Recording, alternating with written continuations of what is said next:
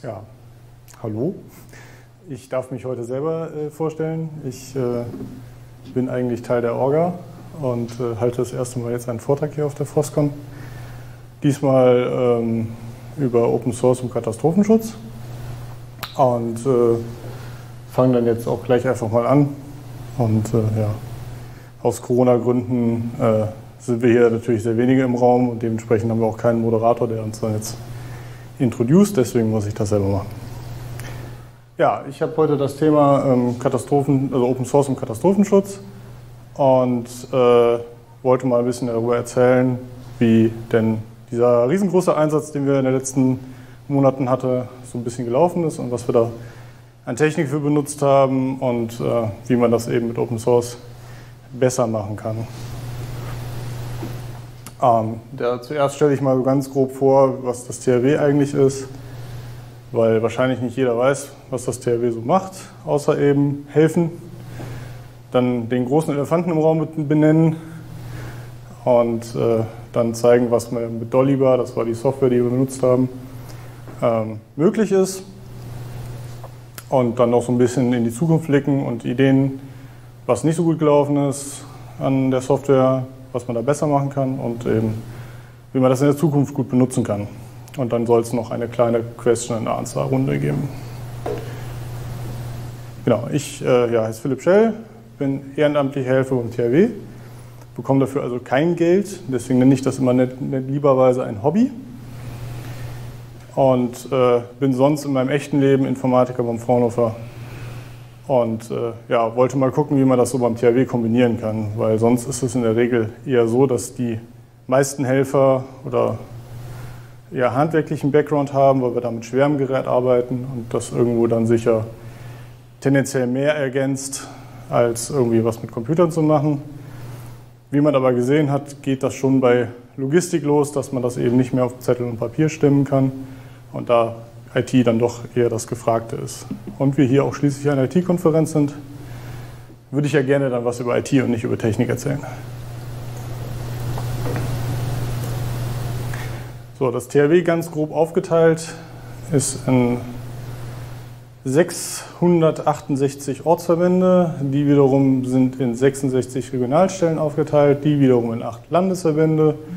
Dazu kommen zwei Logistikzentren und drei Ausbildungszentren und ganz oben drüber steht das THW als Leitung. Insgesamt sind dort so rund 80.000 Helfer aktiv.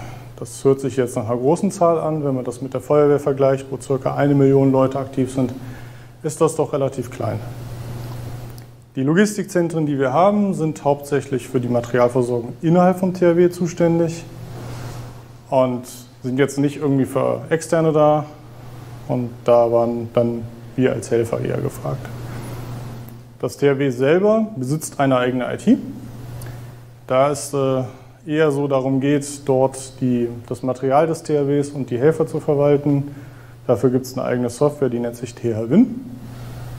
Die ist aber mehr dafür da, ja, um das selber zu verwalten. Ganz wichtig, da lässt man die Finger, weil das ist Bundes-IT, das ist begrenzt, das ist beschränkt, das ist eigentlich sehr sicher, weil es halt gekapseltes System ist. Deswegen kommt man da auch als normaler Helfer nicht dran. Ja, dann natürlich die große Frage, wie macht man dort SOTS-IT? Und das ist halt alles, was man selber machen muss.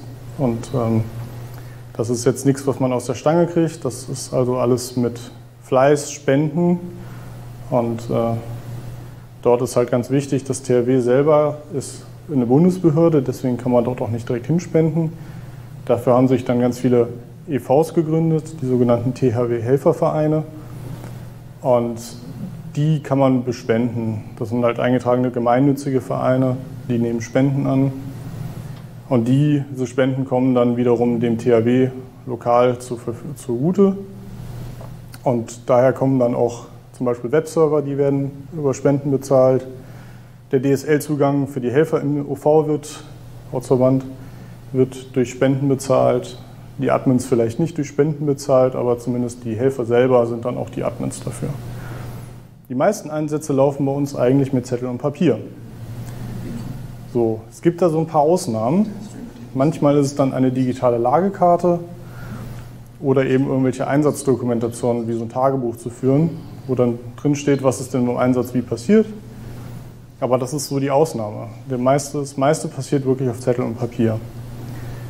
So, bei großen Logistikeinsätzen merkt man aber schon, dass man dann so mit Zettel und Papier ganz schnell an die Grenzen kommt. Das haben wir ja schon gemerkt bei dem Einsatz. Wir haben ca. 200 bis 300 Empfänger gehabt und ca. 100 bis 200 verschiedene Produkte. Das zu kombinieren, geht mit Zettel und Papier eigentlich nicht mehr. Und da ist dann der große Punkt gewesen, wo wir ansetzen konnten, nämlich mit IT.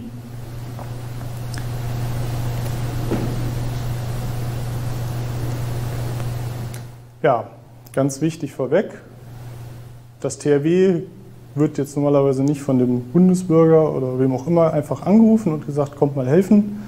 Das THW ist eigentlich nur für Amtshilfe da, sprich die Feuerwehr, die Polizei, der Zoll, der Kreis, das Land kann sagen, wir brauchen das THW. Die zahlen dann das THW natürlich auch, aber sonst kann das THW quasi nicht gerufen werden. Und eine Kernkompetenz des THWs ist halt auch Logistik, sprich Dinge von A nach B zu transportieren, Material zu verteilen, jetzt für, den, für die lange Zeit vorher gewesen. Und ganz wichtig, das Ganze unter Einsatzbedingungen, quasi wenn es schnell gehen muss, wenn es dringend ist, wenn es irgendwo absoluten Mangel gibt, Trinkwasser zum Beispiel. Dann kommt das THW und liefert. Und das kommt dann mit ganz vielen großen LKWs und macht das dann ganz schnell. Ja, dann haben wir mal rumgefragt, als wir das für uns sich anbahnte, diesen Einsatz zu stemmen, wie machen denn andere das? Und der kamen dann so Antworten, ja, wir machen das mit Excel. Oder wir haben so ein super teures SAP-System, wir machen das damit. Ist für so ein OV, die dann irgendwie ein paar hunderttausend Euro für so ein SAP-System ausgeben sollen, in der Regel nicht stemmbar. Also kam die große Frage, wie machen wir es denn jetzt? Dann kommt dann noch ein anderes Problem dazu, nämlich der Zeitdruck. In dem Fall, wenn es dann losgeht, geht es meistens sehr schnell los und dann kamen die ersten LKWs mit Paketen schon an und das stapelte sich im Hof. So, dann fängt man erstmal trotzdem in Excel an, weil muss ja irgendwie jetzt erstmal verwalten. Dass das nicht das Gelbe vom Ei ist, da kommen wir dann noch ein bisschen dazu. Und zwar, ähm, Excel besitzt so ein paar Probleme. So, wer hat denn wann was gemacht? Irgendwer trägt da was ein in Excel. Das ist aber dann auch eher so bedingt, funktioniert das. Man hat dann so Zahlen da drin stehen, aber nachher weiß man nicht mehr genau, wann was wie wo passiert ist. Das ist wichtig. Das ist jetzt weniger wichtig, um nachher irgendwem zu sagen, du hast einen Fehler gemacht. Das ist eher wichtig, um, wenn dann was passiert ist, irgendwer hat sich vertippt, irgendwas ist falsch gezählt worden, irgendwas ist dann schiefgelaufen, diesen Fehler beheben zu können. Dann kann man nämlich nachgucken, wo ist denn zu wenig oder wo ist jetzt zu viel und das eben fixen, indem man dann noch was nachliefert oder Sachen wieder zurückholt. Dafür ist das ganz ein ganz entscheidender Punkt und das ist mit Excel sehr schwierig abzubilden. Genauso schwierig ist es abzubilden, das Ganze äh, mit mehreren Leuten zu bedienen. Excel ist eine Tabelle, kann man an einem Rechner aufmachen, drei Leute vor einem Rechner ist schwierig. So, kann man natürlich nach Google Cloud oder Google Drive oder warum immer hinschieben, dann können da mehrere rumfummeln. Ist es aber immer noch, naja, macht man mal so, macht man mal so. Ganz wichtig ist halt auch, das THW funktioniert als ein großes Team. Und das funktioniert auch eigentlich nur so richtig. Wenn da einer jetzt der Ansprechpartner für ist und der jetzt drei, vier Monate lang nur daran rumfummeln soll, dann ist der irgendwann müde, dann wird das irgendwann schlafen, will der auch mal und ja, dann haben wir ein Problem. Also müssen das mehrere Leute gleichzeitig benutzen können, ohne dass sie sich in die Gehege kommen und das geht mit Excel nicht. Ganz wichtig eben auch, das ist so ein Problem der IT. Derjenige, der das gebastelt hat oder gebaut hat, der weiß, wie es funktioniert. In der Regel dann kein anderer. Dokumentation ist schwierig, gerade wenn es dann wirklich im Einsatz ist. Dann hat man nicht die Zeit, jetzt noch ausführlich was zu erklären. Also weiß es genau einer und der, der sollte das auch machen. Gerade bei Excel. So, jetzt kommt so ein riesengroßes Bild. Das soll mal so ganz grob erklären oder zeigen, was denn eigentlich so diese Schritte von Logistik sind. Das fängt ganz einfach an. Irgendwann kommen Waren an. Die kommen entweder vom Kreis oder die kommen vom Land. Und da wird so ein bisschen unterschieden. Der Kreis kauft selber ein, das Land kauft auch ein und das kommt bei uns alles an. So, dann muss das Material im Wareneingang gezählt werden, kontrolliert werden. In der Regel kriegen wir so Zettel dazu, wo drauf steht, was wir geliefert bekommen. Das ist aber anders sortiert oder anders ähm, geordert, als wir das irgendwie gebrauchen können. Da steht dann ein Karton, 1800 Masken zum Beispiel. Da drin sind dann so 50er Kartons. So. Das heißt, wir müssen das alles neu zählen. Das ist so ein sehr entscheidender Punkt im Wareneingang gewesen. Das Ganze dann in das System einpflegen, sprich, was ist genau angekommen, wann, von wem. Und das nächste ist dann die Lagerung. Da gibt es nachher noch ein schönes Bild zu, wie das Lager eigentlich aussah und wie viel das eigentlich ist. Das muss also irgendwo hin sortiert hingestellt werden, weil es kamen Masken, es kamen Overalls, es kamen Handschuhe, es kam Desinfektionsmittel, also schon sehr viel Material. Das sollte man natürlich irgendwo sortieren können, dass man da leicht, wenn man irgendwas hat, wieder darauf zugreift und eben äh, dann damit weiterarbeiten kann. Der ganze Lagerbestand, der aktuell besteht, der wurde dann immer von uns weggeschickt und der Kreis hat sich dann in, dahingesetzt, diese Liste von uns bekommen, okay, die 100 Krankenhäuser hier in der Gegend kriegen jetzt alle Material. Und dann wurde entschieden, nach, nachdem diese gemeldet hatten, wer was wie viel braucht, ähm, so und so viel kriegen die jetzt. Und diese Liste mit dem Verteilauftrag wurde dann wieder zu uns geschickt. Und das wurde dann von uns äh, ausgebucht und dann ins äh, Kommissionieren, also in einzelne Pakete gepackt, damit wir das eben dann am Ende ausliefern konnten. So, und dann kam dann eine, eine Excel-Liste, wo dann drin stand, diese 100 Krankenhäuser kriegen jeweils 50 Masken oder 200 Masken oder 30 Liter Desi. So, das wurde dann in jeweils einen Karton gepackt, das alles dann eben in irgendwelche LKWs gepackt und dann wurden riesengroße Verteilrunden gestartet und das Ganze dann eben ausgeliefert. Ja, da wir gemerkt haben, dass das so eher nicht ganz so gut funktioniert mit Excel, kam dann irgendwann am, schon relativ am Anfang vom Einsatz eben die Frage, wie machen wir das denn jetzt besser? Also Excel halt eben nicht. Und dann habe hab ich mich mal hingesetzt, auch mit ein paar Leuten, gegoogelt, was gibt es denn da so? Ja, Online-Shop. Das ist ja so, was man dann so grob sich überlegt, weil de facto ist das ja, jemand möchte was haben, jemand möchte was bekommen. Oder soll was bekommen. Das ist so ganz grob die Idee von so einem Online-Shop ja eigentlich. Ja, hat sich als nicht so super gut rausgestellt, einfach weil dieses ich shoppe mal und nachher wird geliefert, klappt in der echten Welt leider nicht, weil in der Regel die Leute sagen, ja, wir brauchen hier ganz, ganz, ganz, ganz viel, aber es gibt halt nicht ganz, ganz, ganz, ganz viel, also muss das irgendwie rationiert werden. Das war ja ganz am Anfang ein riesengroßes Problem. Und daher muss das gesteuert werden, wer kriegt jetzt wirklich wie viel. Und äh, da funktioniert ein Online-Shop schon nicht mehr einen Online-Shop so zu konfigurieren, dass zum Beispiel auch erst nach einem Login etwas zu sehen ist, ist teilweise ein Problem, weil ein Online-Shop ja nicht dafür ausgelegt ist, äh, sondern man soll ja eigentlich die Produkte sofort sehen können. Den will man ja anpreisen als Shopbetreiber und nicht so erst nach einer Login-Maske was zu haben. Hm, klappt da also nicht ganz so wirklich. Daher haben wir am Anfang mit dem Online-Shop so ein bisschen uns verrannt, haben aber eine ganze Menge dabei gelernt nachdem wir dann sich dann auch teilweise so ein bisschen die äh, Flüsse nochmal geändert haben, wer wann, wie, wo, was, sind ein bisschen so vier Wochen in, ins Land gegangen, ähm, die wir dann aber irgendwann entschieden haben, wir verfolgen diese Strategie mit dem Online-Shop eben nicht weiter, sondern wir springen jetzt zu einem neuen System. Das war ein sehr harter Schritt. Das hat mich dann doch einige Nächte gekostet, eben zu sagen, so, nein, hier geht es nicht mehr weiter. Wir müssen was Neues machen. Und dann sind wir halt quasi mit dem ganzen Wissen, das wir da in der Zeit gesammelt haben, über einen neuen Punkt gestartet. Und ab da geht es dann jetzt auch mit, äh, gleich weiter. So, jetzt kommen diese schönen beiden Bilder, die ich gerade angekündigt hatte, nämlich mal, wie das Ganze eigentlich aussah. Wie man sieht, die Pakete stapeln sich ca. zwei Meter hoch. Das sind 15 Meter lange Lagerhalle. Das Ding war voll. Das waren also nicht nur, wir haben da mal 100 Masken in einem Karton, sondern das waren tausende Mengen.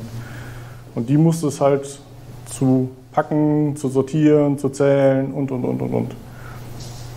Ging. Ja, dann waren so mal die Conclusion aus dem, was wir bisher gemerkt hatten.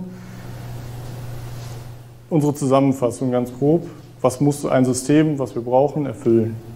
Das musste mit mehreren Leuten bedienbar sein. Am besten, sodass keiner mehr irgendwie der Ansprechpartner für genau alles ist, sondern eben, dass ein bisschen in Rollen getrennt wurde. Es musste genau jeweils exakt genau ein Weg existieren, um eine Aufgabe zu erledigen, damit man keine Fehler machen kann. Es musste alles nachvollziehbar sein, damit man eben im Zweifel nachgucken kann, was ist passiert, wie kann man es beheben. Es darf nicht viel kosten. Ähm, Software ist so schwierig zu erklären beim THW. Ein Hammer kann man erklären, wir brauchen einen Hammer. Das kostet, keine Ahnung, 20 Euro. Wir brauchen Software, das kann man nicht anfassen, das ist schwierig zu erklären. Also sollte das nach Möglichkeit keine großen Summen hervorbringen. Ja, es muss eine gewisse Lagerverwaltung besitzen, dass man sagen kann, das liegt an Position Handschuhe 3. Man weiß, okay, da muss man jetzt suchen, weil die Halle doch relativ groß war. Und es musste so bedienbar und intuitiv sein, dass man nicht ständig Rückfragen bekommt. So. Da hat sich dann am Ende das ERP-System Dollybar herausgestellt als das, was wir haben wollten und auch benutzt haben. Und äh, ja, ab da geht es dann mit Dollybar jetzt weiter.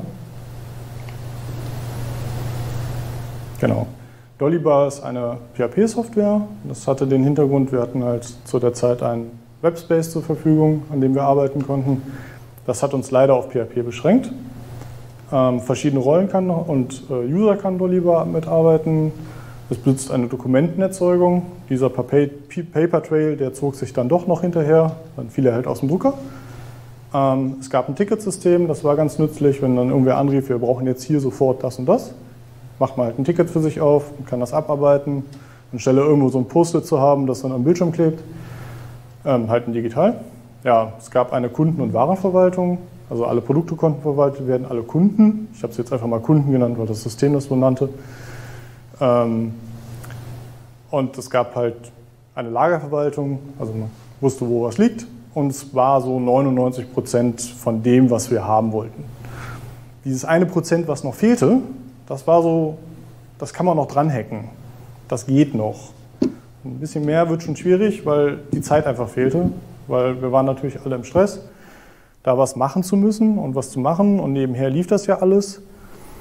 Und dann dieses eine Prozent ist aber so ein fixbarer Teil. So, unter anderem war das zum Beispiel die Dokumentausgabe.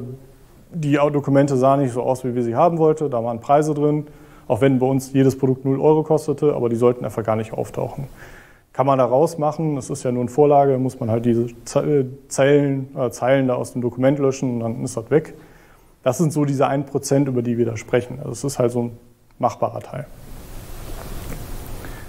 Ja, wie man dann sowas äh, aufsetzt und betreibt, das ist halt so der übliche Informatikergang. Man baut sich halt eine lokale Demo, am besten irgendwie auf einem Rechner, wo man darauf Vollzugriff hat, also machen kann, was man will. Ähm, die testet man dann möglichst mit allen Leuten, die da später dann arbeiten sollen. War auch ein bisschen schwierig, wenn wir nicht an alle Leute vorher rankamen, weil das später nämlich eben von einer Nutzergruppe übernommen wurde. Dann haben wir es halt mit möglichst verschiedenen Leuten getestet, weil jedem fallen ja immer mit der kleine Teile auf, das geht noch nicht so richtig. Das sind Dinge, die sollten unbedingt gehen oder müssen so gehen und so weiter. Ja, für mich war dann auch sehr wichtig, selber vor Ort sein. Also sprich, ich bin da ab dem Punkt das erste Mal wirklich im Lager gewesen, um mir das mal anzugucken. Das ist nicht ganz uninteressant, einfach diesen Blick weg vom Schreibtisch zu haben, um zu sagen, na, hier, da merke ich selber, die Lagerverwaltung, das ist ja völlig nicht so, wie das hier in der echten Welt ist.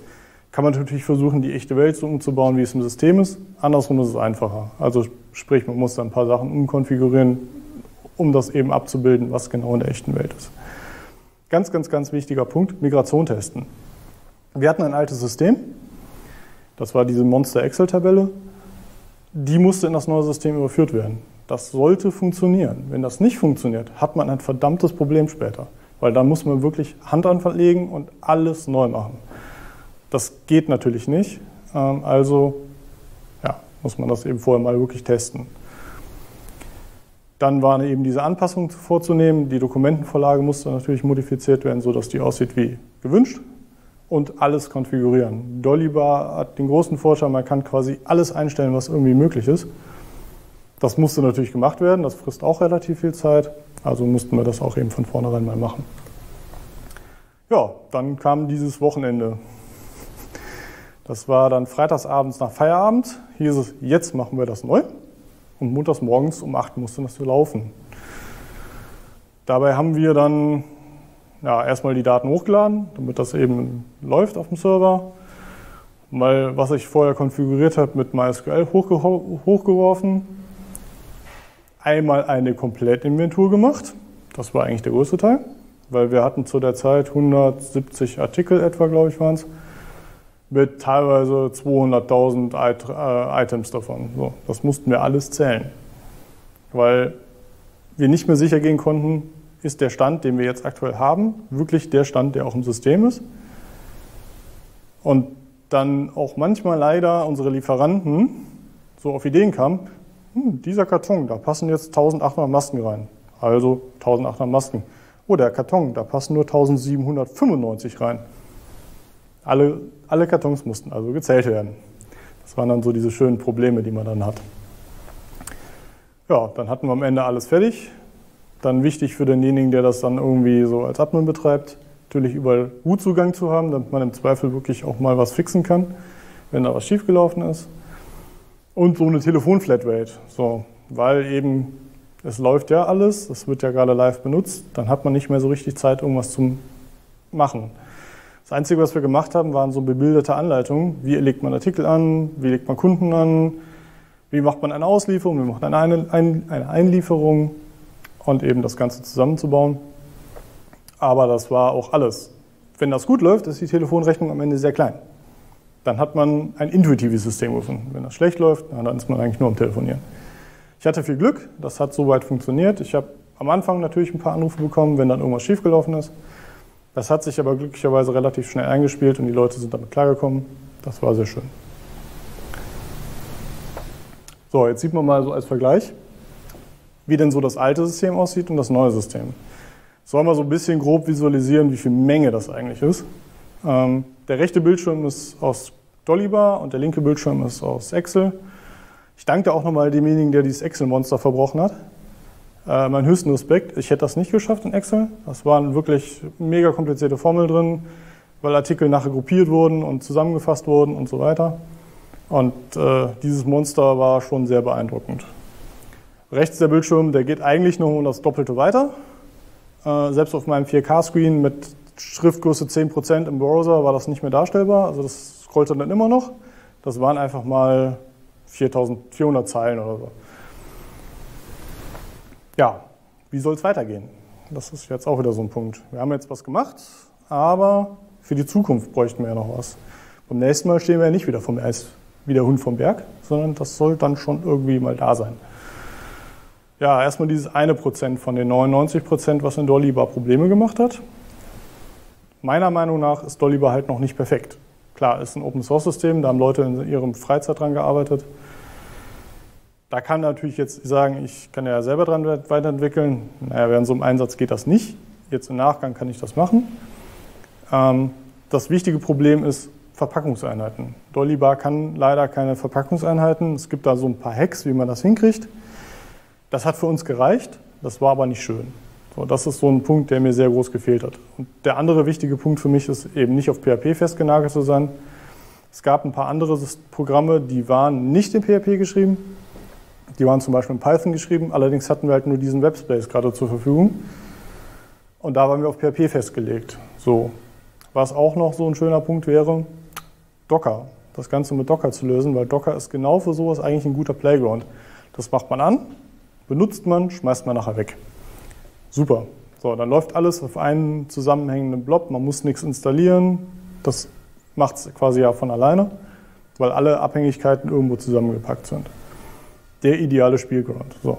Mein Plan für die Zukunft natürlich dann wäre auch, das Ganze irgendwo auf GitHub zu legen als One-Click-Lösung, dass Leute sagen können, ich brauche das jetzt. Andere HIORGs, also Hilfsorganisationen oder andere Leute, die Interesse, Interesse dann haben, zu sagen, so, jetzt machen wir das mal, Doppelklick und das läuft. So, falls jetzt nochmal irgendwie sowas Großes sein sollte, wäre das natürlich für uns auch ein mega geiles Teil.